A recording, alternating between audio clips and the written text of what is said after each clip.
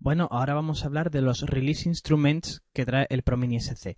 ¿Qué son los Release Instruments? Pues son unos samples que, digamos, tienen la función de, entre comillas, humanizar la interpretación del MIDI.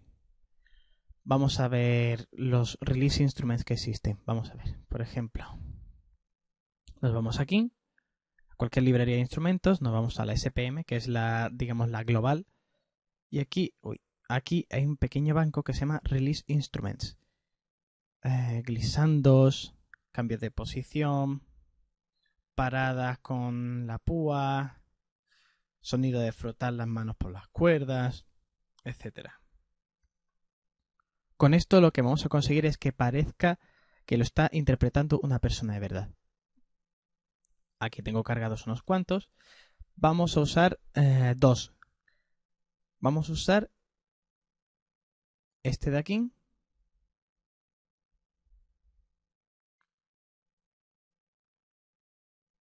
Y este de aquí. Como veréis, donde pone Play Keys, cada uno tiene una función diferente. Hay unos que ponen Stop Key y otros que ponen Hold Key. Los Stop Key funcionan como una nota. Tú tocas cualquiera de estas dos notas, sea B0 o A sostenido 0 e inmediatamente como la tocas suena el efecto. Sin embargo, las que ponen hold key tienes que mantener primero la nota de la nota que está sonando pulsada y luego la nota del hold key. Una vez que sueltes la tecla de la nota que está sonando, inmediatamente se pone en funcionamiento el hold key. Es digamos como cuando se estaban haciendo los slides y los hammer-ons. Pero bueno, en vez de explicarlo, vamos a hacer un ejemplo. Vamos a empezar con una stop key. Que sería en este caso el fret noise, o sea, ese sonido de frotar con la mano las cuerdas. Vamos a usarlo en la primera, en esta de aquí.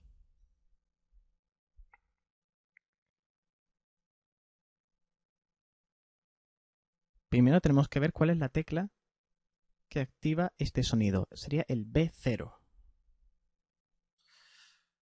Vamos a ponerlo más o menos. A ver. El B0 es esta, justo la que está por debajo del C1. B0, B0, B0. Escribo aquí. Más o menos. Vamos a escuchar a ver cómo se. Se escucha muy flojito pero en el momento en el que empiece a usarse una distorsión, será un, efecto mucho más presente. Pero aún así se, digamos, se distingue un poquito. Y ahora por último, bueno, antes de explicar el último veis que las notas no están superpuestas. Es más, lo puedo poner aquí y seguir funcionando. Pero para que no sea un frote tan repentino vamos a ponerlo un poquito más adelante. Y ahora vamos con el último, con el hold key. El hold key que habíamos seleccionado, o el que íbamos a usar, es este. Que es, digamos, un glissando final hacia abajo. Es el A0. Bien. El A0 corresponde a esta nota. El La por debajo del C1. La puedo poner empezando por donde quiera, mientras esté superpuesta, pero en el momento en el que esta nota termine, esta va a comenzar a funcionar. Vamos a verlo.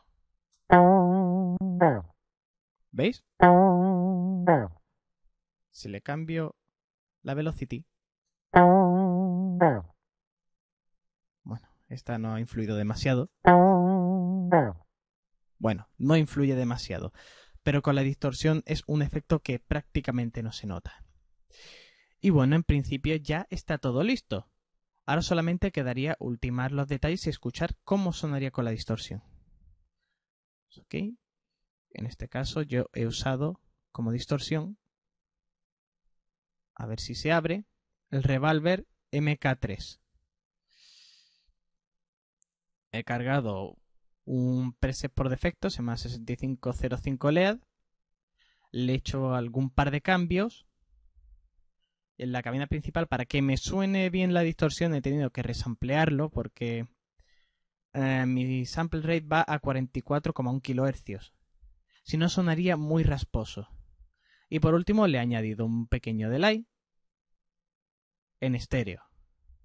Y ahora vamos a escuchar cómo sonaría.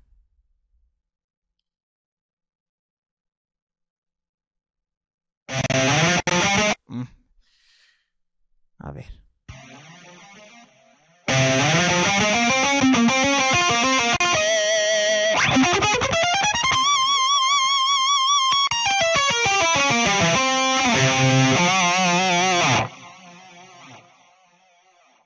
¿Veis que ahora le da unos toques, digamos, más humanos?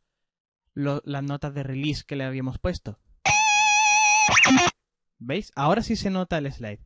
Y ahora aquí, que antes el limpio, eh, el glisando hacia abajo era quizá demasiado acusado, aquí ya apenas se nota. Y con esto conseguimos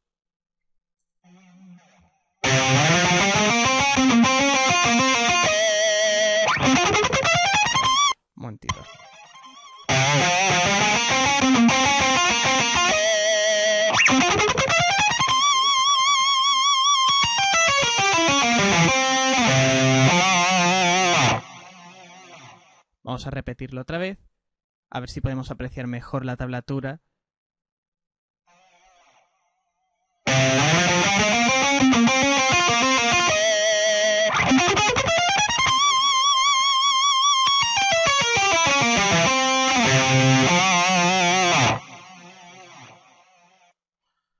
Bueno, y así es como hice yo el solo de Asayem.